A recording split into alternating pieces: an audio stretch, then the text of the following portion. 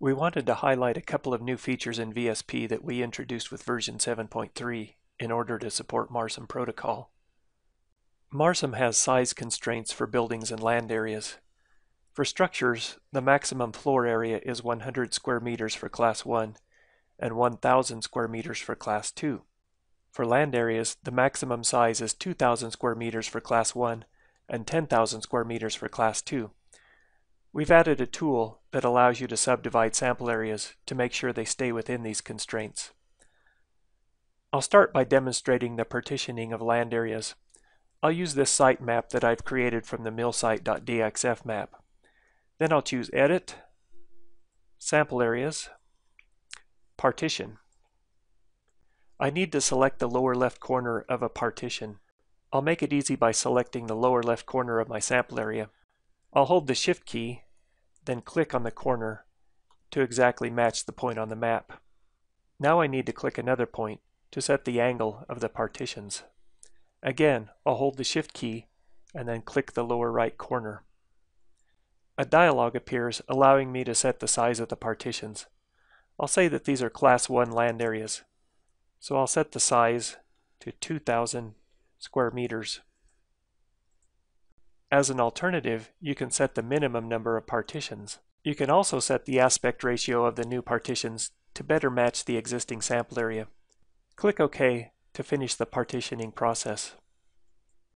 You can see on the layer control that there's a new heading for Area 2 partitions, and the new sample areas are listed under that.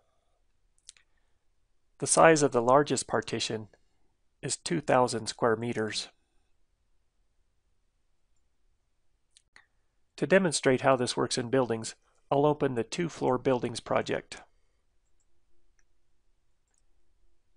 And I'll turn off all the rooms except room 40.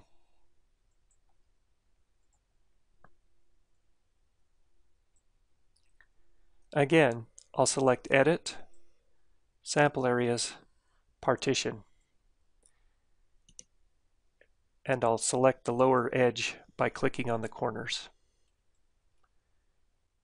I'll say that this is a class 1 building area. So I'll set the size to 100 square meters.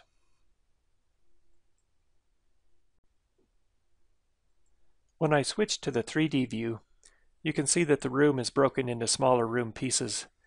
The internal partitions are blanked out with open doors, so that we're not introducing new sampling surfaces that don't really exist. Existing doors that straddle partitions, like this one, are split apart and part is put in each of the two partitions.